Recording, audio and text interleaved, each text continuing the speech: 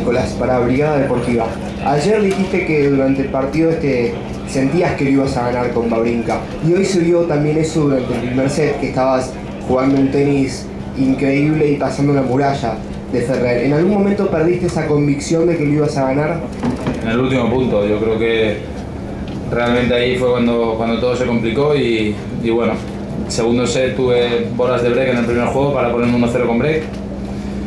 Eh, después pues me hace el break con, con un revés que, que, no había fallado en todo el partido prácticamente ninguno y, y bueno, y sí destacado que, que ahí se empezó todo a poner cuesta arriba, pero en ningún momento perdí la confianza en mi tenis. Creo que, que David es justo vencedor y, y ha demostrado el, el, nivel de forma en el que se encuentra. Últimas tres. Desde lo mental, ¿pesa en algún momento, pesa el no poder con, con Ferrer habitualmente? No lo piensas.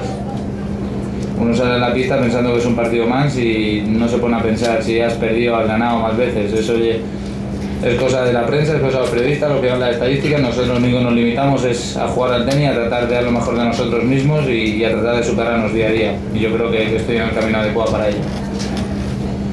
Tuviste mucho más, eh, mucho más tiempo dentro de la cancha en esta semana comparado con David. Eh, ¿Eso influye a la hora de entrar a la cancha? ¿Entraste bien físicamente? Sí, sí, cansado? Físicamente me encuentro perfecto. Creo que he trabajado muy duro para, para poder estar bien después de, de, partidos duros e intensos como el de ayer y como el de hoy y, y bueno, creo que, que, eso no, no ha sido handicap ni nada, simplemente creo que David ha sido mejor que yo, ha sido muy constante en todo, en todo su partido y al final creo que, que puso un, una velocidad más que, que yo no supe contrarrestar. Última pregunta. Nicolás aquí. Primero fue Robredo, después fue Ferrero, después fuiste vos el año pasado y esta vez Ferrer.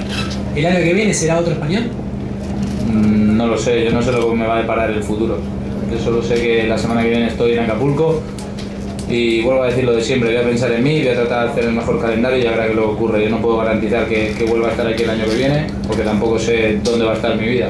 Simplemente voy a tratar de seguir trabajando, de hacer mi, mis cosas y a ver qué, qué, es lo que pasa en un futuro, nada más. Muchas gracias, felicitar Nico por la gran semana. Gracias, hasta luego.